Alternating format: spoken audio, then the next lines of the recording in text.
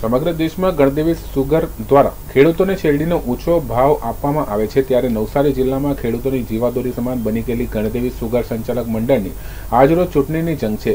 આ સવાલથી ખેડૂત મતદાતો મતાધિકાર આપવા ઉમટી પડતા ચૂંટણીને લઈને સભાસદોમાં ભારે ઉત્સાહ જોવા મળી રહ્યો છે. દક્ષિણ ગુજરાતની ગણદેવી સુગર સંચાલક મંડળની ચૂંટણીમાં સોળ બેઠક પર ચૂંટણી જંગમાં તેત્રીસ ઉમેદવારોનું ભાવિ અઢાર મતદાન બેઠકો પર સાત હજાર ચારસો નેવું મતદારો નક્કી કરશે. જેમાં એક બેઠક પર બિનહરીફ થતા પંદર બેઠકો પર બત્રીસ ઉમેદવારો માટે ચૂંટણી યોજાઈ હતી. મતદાન મથકો પર મતદાતો ઉમટી પડતા ચૂંટણી જંગ રસાકસી ભર્યો બન્યો છે. ગણદેવી મતદાન મથક પર મતદાતાઓ પોતાનો મતાધિકાર આપવા મોટી સંખ્યામાં ઉપસ્થિત રહ્યા છે.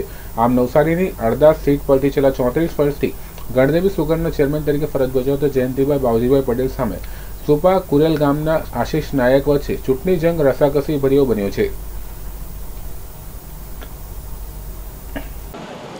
ગંડેવી સુગર ફેક્ટરીની ચૂંટણી આજે છે.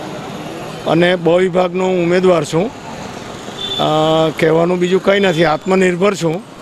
અને મતદાન લગભગ નવસારીમાં પચાસ ટકા બ વિભાગમાં થયું. અને એ જ રીતે ગણદેવીમાં લગભગ પિસ્તાલીસ, છેતાલીસ ટકા જેવું થયું. અને રાનકુવામાં લગભગ ચાલીસ ટકા જેવું થયું? ખેડૂતોના અને સભાસદ મિત્રોના કામ કરીશું આપણે. ડિવોટેડ ખેડૂતના પહેલાં ખેડૂત છે અમે. અને ત્યારબાદ પછી અમે બીજી સંસ્થા તે સહકારી સંસ્થા તે બી જોડાયેલા છે. અને ખેડૂતોના પ્રશ્નોથી માહિતગાર છું હું.